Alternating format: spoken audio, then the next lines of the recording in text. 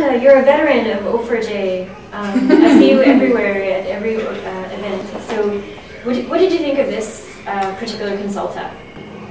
Um, I thought it was good. It was great. Um, it was really good to see something happening for May Day.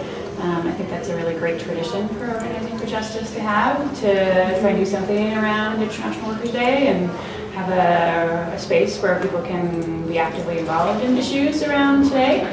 Um, so I think it was great. A lot of people talked about a lot of great ideas and issues they're facing in their community, and um, not just issues, but then how we can organize and strategize and respond to them and build positive things, um, which I think is a really great part of organizing for justice. That we talk about constructive solutions and improvement. It's really important to, to, to build networks and to build uh, like resistance in Ottawa to some of the things that are happening. I mean, things seem in a, a, bit of a lull right now in terms of like social movements, and I think we really need to kind of uh, rebuild. I think. Mm -hmm. Yeah, and it's May Day tomorrow. Yeah, which is International Workers' Day. So it, it, tends not to be observed so much in, in, in English-speaking Canada, but mm -hmm. there is a big rally tomorrow on Parliament Hill. That'll be awesome. Mm -hmm. I've, been, I've come to a, a few different Organizing for Justice events, and one thing I really like about them is that I always see new people at them.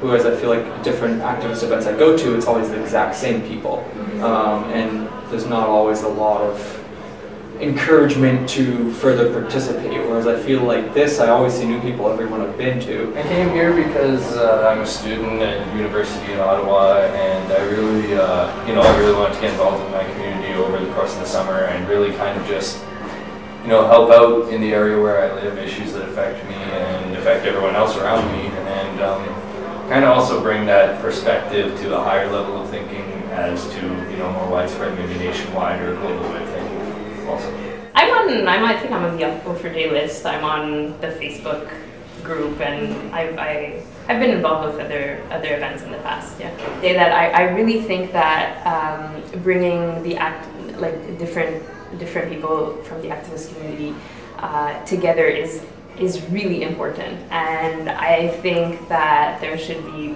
um, more uh, more more events to for, to sort of cement that to, to create solidarity. Because yeah we say whatever solidarity but like solidarity needs to be created. It's not just it's not just automatic. I also like a lot of the ideas that are being put up under those um, the, uh, those different topics. Like it seems like it's it's problem solving some of the, the issues that are, are kind of fundamental to uh, why having movements isn't happening as much and and maybe it'll come up maybe something will come out of, uh, of this like a plan of how we can set up a movements that will work. so I like that. I definitely enjoyed um, connecting with people from various backgrounds and seeing how you know we we have a lot of a lot of the same uh, obstacles. Yeah, it seems to be like a really good opportunity for networking with other groups. Yeah, yeah, yeah, yeah. No, it was really great. I was surprised. I didn't really think. I thought because nobody I showed up came, I thought nothing would happen with it. But it turns out there was a lot of really great people. You're one of the organizers for this event. Yes, I am. Um, how do you feel it, it went today? Uh, I think it went really well. I mean, what I love seeing is people that I don't know uh, and being able to get to know them and know what their issues are and what they're working on and how we can work together.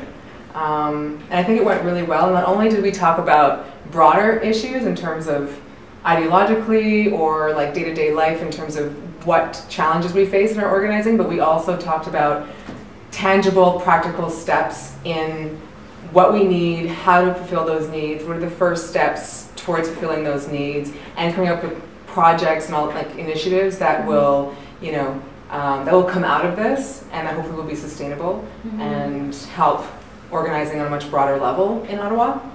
And